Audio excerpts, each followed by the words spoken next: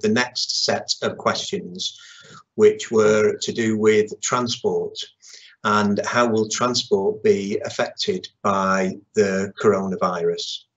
And uh, the best way to summarise this is exactly as my colleagues have just done. So if we're open as normal, um, which we're being uh, encouraged by the, the, the, government at the moment will be possible, then the transport will be operating as normal. Uh, the same services are planned next year as are in place this year and uh, and there'd be no limits to uh, the use of the transport so we would we would operate as we would expect if we're on scenario two and we're at one metre social distancing, then we know that the transport can operate at above 50% capacity.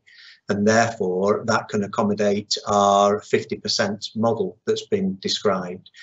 And if we're on scenario three of going back to two metre distancing, then the capacity on the buses will reduce and we'll have to run as we have been doing these last couple of weeks with students uh, and we found that we had fantastic attendance from students.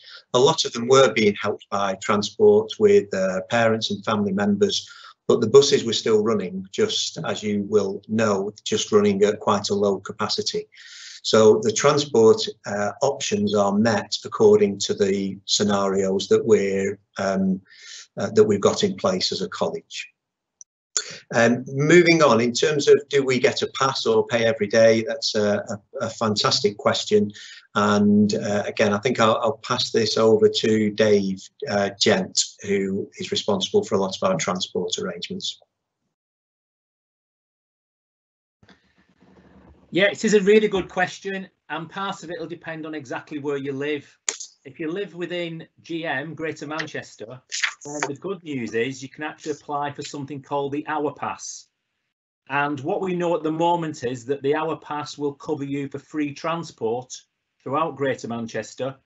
At the moment, it will cover you for your first year in college, but hopefully the Mayor of Greater Manchester will extend that again and you'll get two years free travelling to college. If you live outside of Greater Manchester, then you'll be paying for transport and you'll be on one of our college buses. And this they operate at the start of the day and at the end of the day, so you can get into college and get out of college fairly, fairly easily.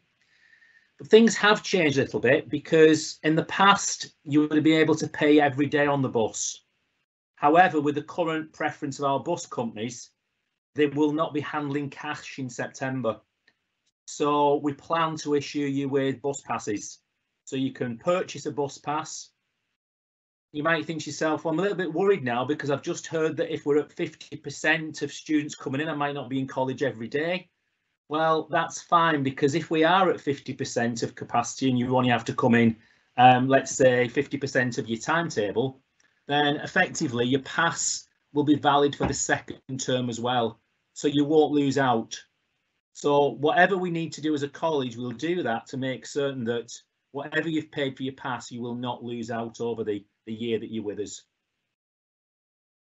The other question that we've got here is that you've heard that the buses get really full at the start of the year and that some students are not able to get on those buses and are late for college. Is it true?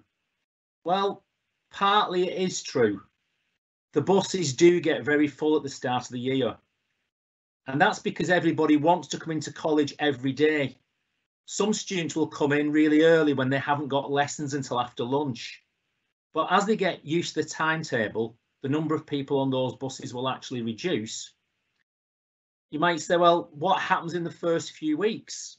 Well, in the first few weeks, we operate a shuttle system where we, we can actually put on some extra minibuses which follow the buses to college.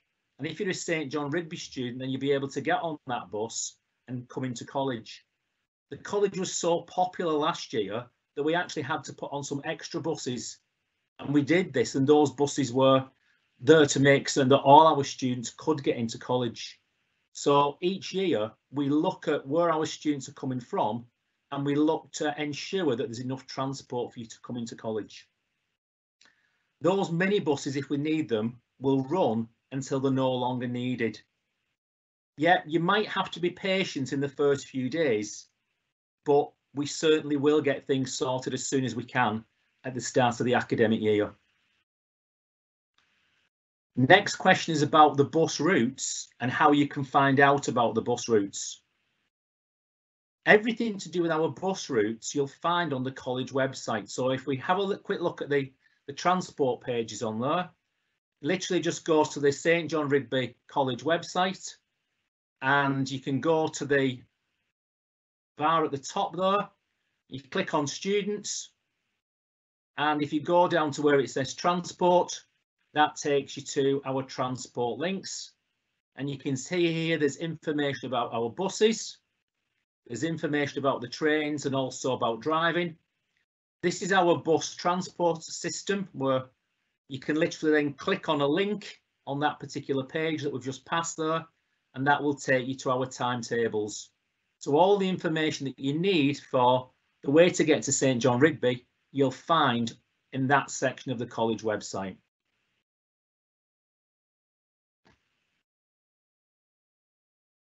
I think that